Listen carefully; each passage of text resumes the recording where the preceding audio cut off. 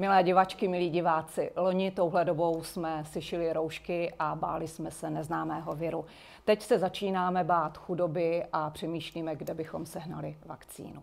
I o tom dnes s Pavlem Sehnalem. Dobrý den. Dobrý den. Proč jste se nechal přednostně naočkovat?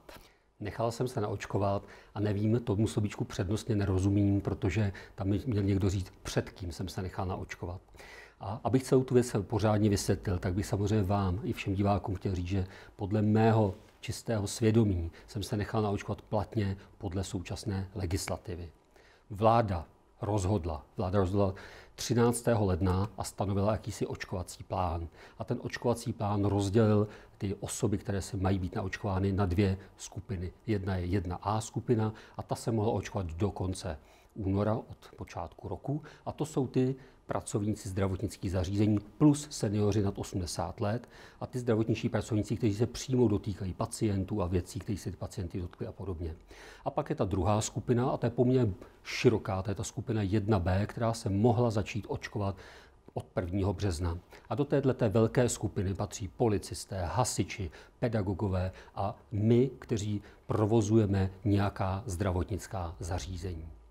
Já jsem majitel ale současně i předseda představenstva dvou zdravotnických zařízení. První se jmenuje Lázně Praha a druhé se jmenuje Dentální Bulovka dentální klinika.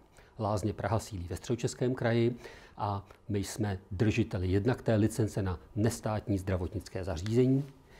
A protože ukázaná platí, tak tady samozřejmě rád ukážu na kameru Tady jsou všechna ta, třeba, ta, všechna ta tři rozhodnutí, takže jsme držitelé licence na nestátní zdravotnické zařízení, pak máme licenci na to, abychom testovali lidi v Česlicích, abychom testovali lidi v celém středočeském kraji, což v současné době opravdu aktivně děláme a výjíždíme do jednotlivých firm ve středočeském kraji a tam testujeme od 200 do 300 lidí denně. A do třetice jsme získali licenci na vakcinaci, na očkování v Česlicích. Takže to je ve vztahu k Lázním Praha. Co se týká Bulovka Dental Clinic, tak ta společnost se zaobírá zdravotní péčí ve, ve smyslu jaksi zubní zdravotní péče. Tady zase jsou patřičné certifikáty. Z titulu těchto dvou zdravotnických zařízení tvrdím, že moji kolegové i my, manažeři, patříme do té skupiny 1B a mohli jsme být platně očkováni od 1. března 2021 v souladu s rozhodnutím vlády. Vydával jste se za zdravotníka? No to je absurdní. Pan ředitel nemocnice na Bulovce, pan Kvaček, lhal. Lhal hluboce a vyloženě tím rozčílil. Prostě tvrdit o mě, že jsem se vydával za zdravotníka, dokonce některá média napsala, že jsem snad přišel v převleku lékaře, prostě to je nesmysl, to je lež. Pan ředitel by se mi měl omluvit. Co se týká vůbec eh, nemocnice na Bulovce, proč jsme se očkovali my i moji kolegové právě tam, tak Bulovka Dental Clinic, jak zní z názvu, sídlí pět minut od, od eh, nemocnice na Bulovce. Proto pro nás to byla tak říkajíc spádová nemocnice a šli jsme se naočkovat právě tam. Pane Sehnale, vy asi budete bohatý člověk. Proč jste se nedostal k té vakcíně nějakým způsobem, jaký by se možná u bohatých lidí dal předpokládat, že si ji prostě někde koupíte a byl by klid? Mně by to připadalo odporné, protože si myslím, že ten, že ten postup, kdy se někteří lidé nechávají naočkovat takzvaně na černo, že si tu injekci koupí a potom se tváří jako že nic. Já bych to nikdy neudělal, protože jednak by se možná bál toho, pro, toho bych řekl, prozrazení, ale mnohem větší důvod a smysl v tom, prostě mám-li to právo být naočkován, tak se naočkuju legitimně, protože potom dostanu i takzvaný očkovací průkaz ve vztahu k té, k té pandemii a s tímto průkazem se mohu prokazovat při vstupu na sportovní utkání, při cestování. Takže je to připadá jednak zvrácené v tom, že je to obcházení nějakého systému, který byl státem nastaven, ale současně říkám, že i spotřebitelsky, lidsky prostě, jestliže mám právo být naočkován, tak ani nevidím důvod, abych to obcházel nějakou černou vakcinací. Jsou známy samozřejmě i případy, že lidé odcestují do zahraničí a jsou tady v Izraeli, možná, že i v Dubaji jsou, eh, jsou možnosti si tu vakcínu koupit a jak si uniknout tomu sledovacímu systému v České republice. Já to nechci takto dělat. Já jsem šel do politiky proto, abych ty věci zlepšil, abych tady dělal to, co se dělat má jako politik, a ne abych obcházel rozhodnutí vlády.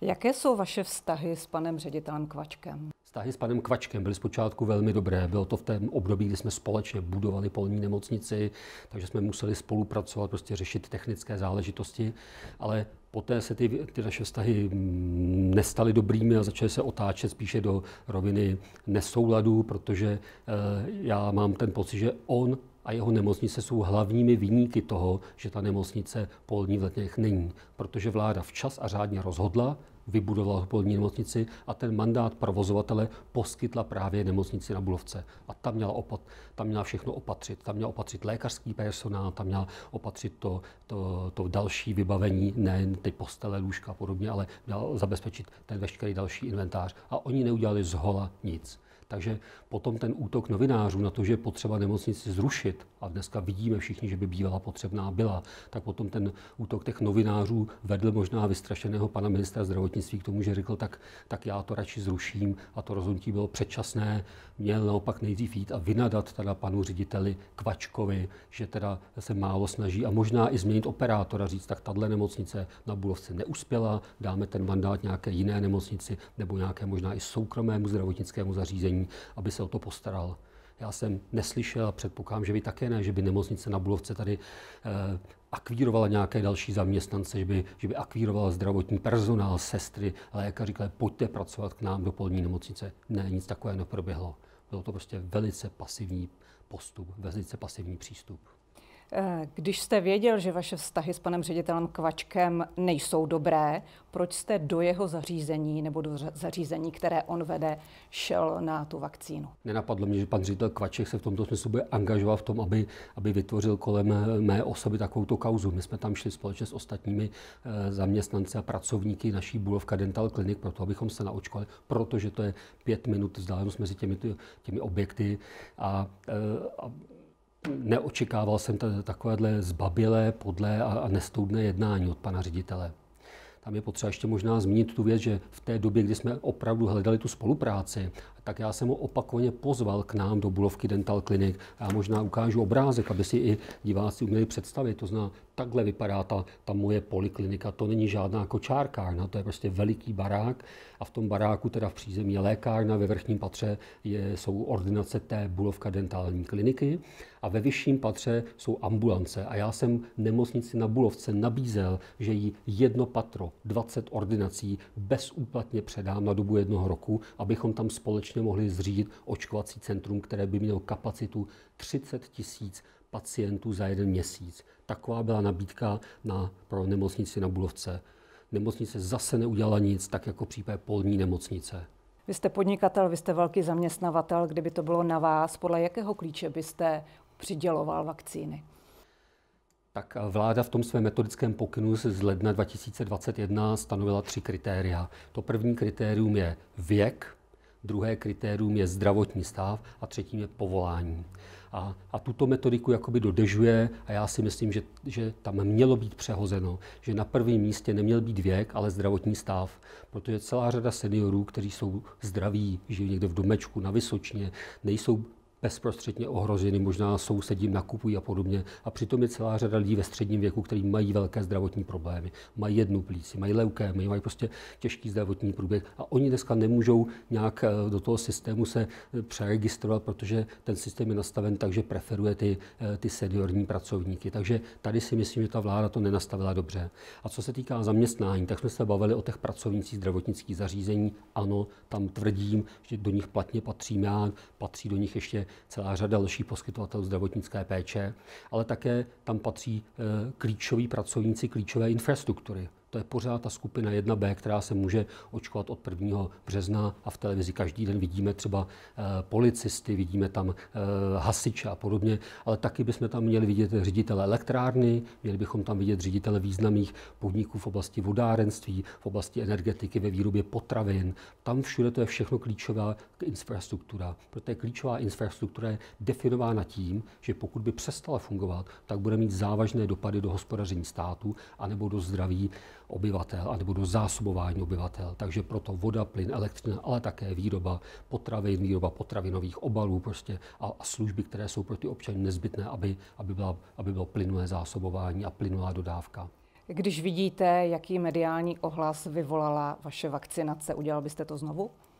Určitě ano. Já se skutečně tady subjektivně cítím osobou, která ohrožuje to okolí, protože na jedné straně mám ten tým lidí, který jezdí testovat a pro vaši představu těch lidí otestujeme 200 až 300 denně a já jsem s nimi v pravidelném, v pravidelném pracovním kontaktu a jsou okamžiky, kdy se vrátí z testování a ta firma, která měla 160 zaměstnanců, tak měla 104 pozitivních nálezů. 104 lidí bylo, bylo pozitivně testováno ze 160, což je neuvěřitelných 70% A v ten okamžik se ty lidé vrátí z toho testování a já jsem s nimi v kontaktu, protože s nimi musím řešit ty pracovní záležitosti, ale následně odběhnu do jiné firmy, abych tam podepisoval objednávky a pracovní smlouvy. A tak mě kolegové vlastně žádali, říkali prostě, pane Sehnal, běžte se očkovat co nejdříve to možné, protože vy tady vlastně přebíháte mezi těmi jednotlivými svými firmami. Mám dneska dohromady nějakých 1500 zaměstnanců v různých společnostech a mezi nimi já potenciálně můžu být tím největším zdrojem nákazy, protože skutečně ty společnosti střídám a jsem,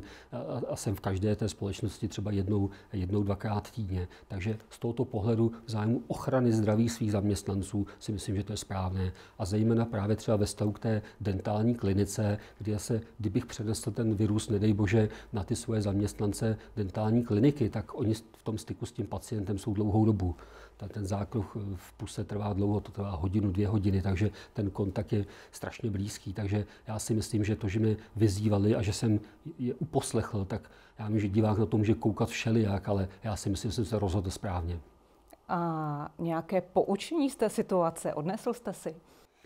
Poučení z té situace je, že, že ta doba je nelístostná a jakmile si člověk jednou při, přilepí na sebe nálepku významné, společensky významné osoby, politika, tak je, je si vědom té společenské odpovědnosti z toho chování e, svého. A vidíme to na případu všech ostatních, prostě na panu Kalouskovi, který se dá pivo, a paní ministry Schillerová, která řídí nepřivázaná. Vidíme to i na řediteli Všeobecné zdravotní pojišťovny, který teda e, taky byl tes, taky byl očkován a tak dále. Poprvé řečeno, ono, dneska ty managementy těch e, nemocnic jsou, jsou už očkováni všichni proč? No, protože v rámci toho opatření eh, vlády z ledna oni být, oni být očkování mohou a samozřejmě to bez zbytku využili.